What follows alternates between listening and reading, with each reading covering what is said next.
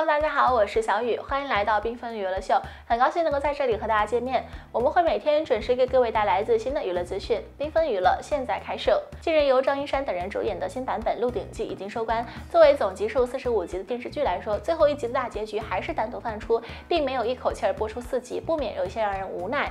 可以说的是，张一山版本的《鹿鼎记》自开播以来呢，就受到了许多的争议，并且开播第一天开始，二点七的评分来说是大家没有想到的事情。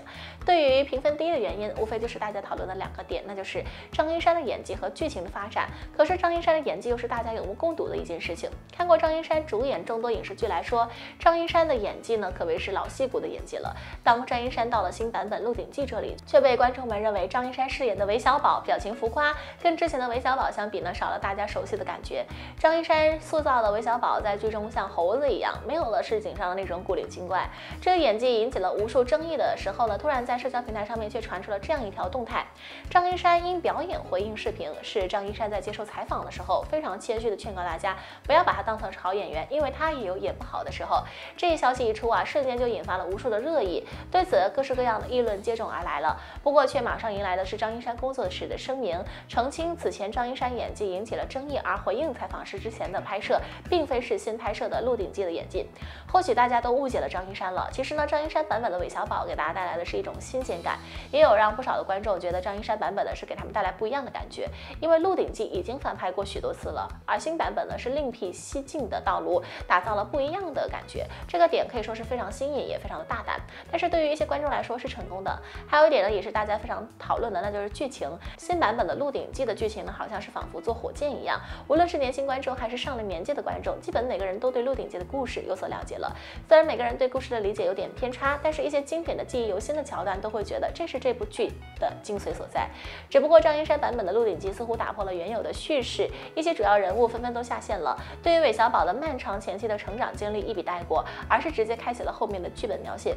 其实张一山就表示过了，对于这部剧自己也是有遗憾的。本来是拍摄了八十集的，最后呢却删减了近一半，很多地方呢又得重新配音。如果是现在这样的话，我会用别的方法去演这个人物。但我们之前是按照原有的剧本设定的，这是《鹿鼎记》导演发文说的，小宝还在成长，而这版的新版版的《鹿鼎》。记在尾声的时候出现了口碑的大反转，也导致了收视率夺冠。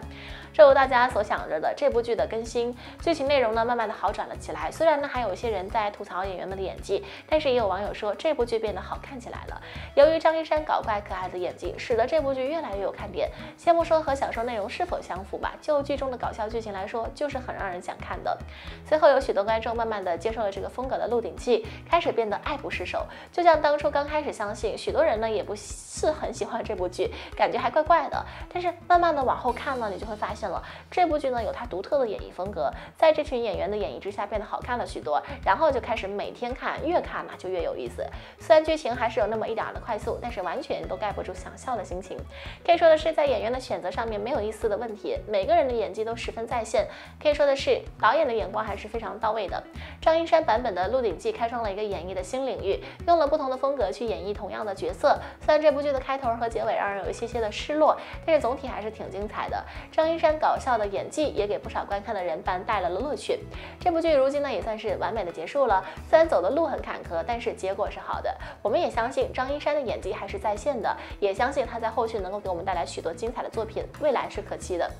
吃瓜不停，娱乐不断，感谢大家关注缤纷娱乐秀。如果你喜欢我们频道的话，请给出您宝贵的赞，并且记得订阅我们，同时不要忘记了点亮订阅右边的小铃铛，这样就可以在第一时间收到我们的频道内容啦。我们下期节目再见吧，拜拜。